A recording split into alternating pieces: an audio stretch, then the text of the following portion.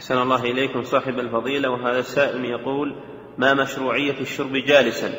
وما صحة حديث علي رضي الله عنه؟ من شرب من شرب واقفا فليتقيأ. نعم الأفضل أن الإنسان يشرب جالسا هذا هو الأفضل.